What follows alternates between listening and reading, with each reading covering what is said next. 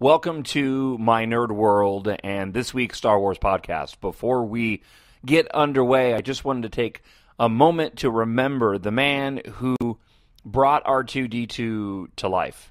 If it wasn't for Kenny Baker inside of that tin can all those many years ago, smiling and uh, acting even though nobody could see him, I don't believe that R2D2 would have become the iconic character uh, known by you know a- anybody who's watched a movie uh, worldwide if it hadn't been for what Kenny Baker did uh, inside of that droid. He passed away over the weekend at uh, age 81. So as we start the podcast this week, I just wanted to take a brief moment.